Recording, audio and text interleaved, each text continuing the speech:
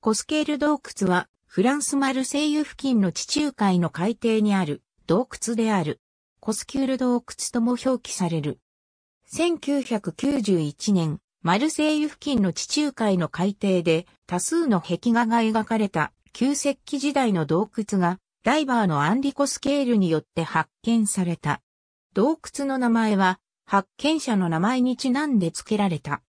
周辺はカランクと呼ばれる純白の岸壁がそびえ立った地形が見られる場所であり、洞窟はカランクドモルジューの付近にある。モルジュー岬の海面下37メートルのところに開いている小さな入り口があることにコスケールが気づいたのは1985年頃であったとされる。洞窟が発見されたのはそのおよそ5年後であった。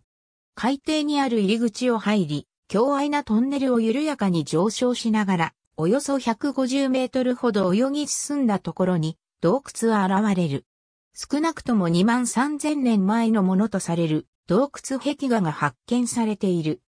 当時は地球が最終氷期の最も寒い時期にあった頃で、地中海の海面は現代に比べて約120メートルも低かった。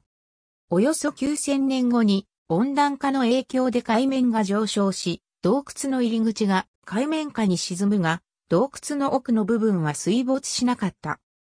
アルタミラ洞窟やラスコー洞窟、ニオー洞窟といったフランコカンタブリア地方洞窟に描かれた動物は、馬やビゾンなどの大型草食動物を中心とする陸上動物であるが、コスケール洞窟の壁画には、アシカ、クラゲ、魚、ペンギンなどの水生動物が数多く描かれている。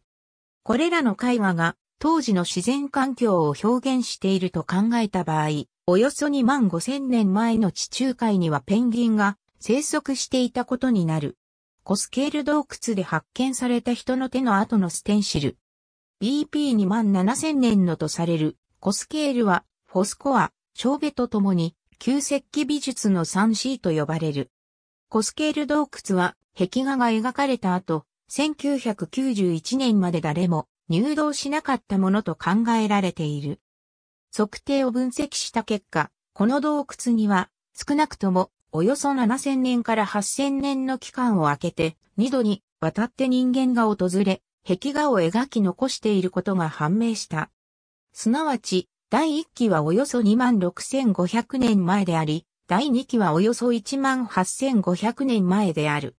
この洞窟の表面には不定形の指の線が確認されており、マカロニ図形などと呼ばれるが、その意味は分かっていない。鍾乳石の壁の表面に人間が手を置き、その上から黒や赤の顔料を吹き付けることにより、作られる手形、ネガティブハンドが確認されている。この洞窟では、46にも及ぶネガティブハンドが発見されており、その内訳は黒い地で描かれた手形が34であり、赤い地で描かれた手形が12である。また、描かれた手形のうち、左手の数が少なくとも34であり、右手の数は4である。さらに、25の手形がその指の一部分を書いており、中指や人差し指を書いた状態の痕跡が見つかっている。ありがとうございます。